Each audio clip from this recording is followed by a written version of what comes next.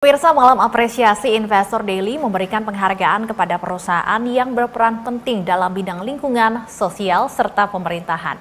Salah satu perusahaan yang menerima penghargaan dalam acara ini yakni PT Chandra Asri Pasifik Tbk yang berhasil menyabet dua penghargaan sekaligus.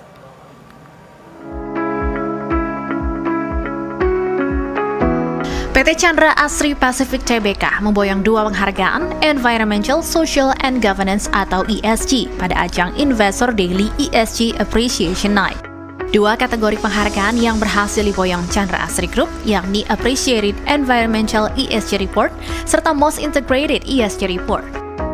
Appreciated Environmental ESG Report diberikan kepada perusahaan yang menyajikan laporan ESG dengan fokus yang kuat pada aspek lingkungan.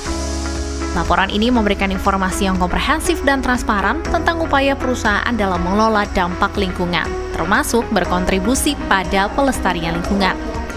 Sementara Most Integrated ESG Report merupakan apresiasi yang diberikan kepada top 20 perusahaan yang mengungkapkan informasi ESG secara komprehensif pada laporan yang dikombinasikan dengan ESG Risk Rating.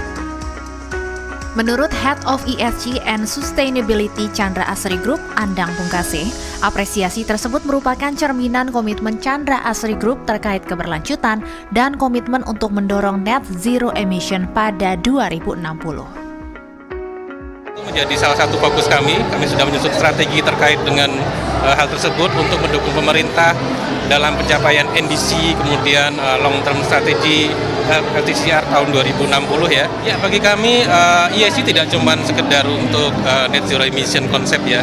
Jadi kami merangkum semua eh, isu-isu uh, dan juga materialitas yang uh, menjadi prioritas dari pemangku kepentingan kami.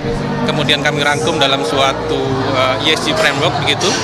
Nah itu untuk uh, apa ya sebagai kendaraan untuk uh, mengelola berbagai isu tersebut menjadi uh, sesuai dengan ekspektasinya. Andang juga menegaskan jika implementasi ESG akan terus menjadi perhatian bagi Chandra Asri Group. Perusahaan juga siap untuk terus menjalankan prinsip-prinsip berbasis ESG untuk bisnis berkelanjutan. Kelvin Sipahutar, Rahmat Aminuddin, Jakarta.